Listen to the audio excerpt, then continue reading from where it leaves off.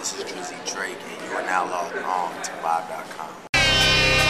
It may not mean nothing to y'all. Well, my vibe is, uh, I guess you could say chill. I don't know. Yeah, I'm, I'm, I'm kind of a relaxed guy. Maybe I'm just tired. My vibe right now is, is, is sleep. But normally on, on any given day, I'm just a chill guy, you know. Sweatpants, some wine. You know, that's my that's my thing. The secret of the day be that um,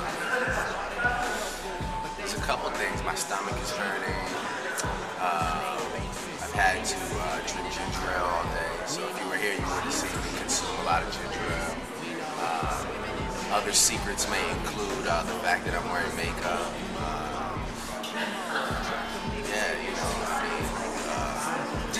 Not really a secret of day. We're all pretty open over here Vibes. That, that, those are two tidbits of information that are coming your way. And I'm about my business. Killing all these rappers, you would swear I had a.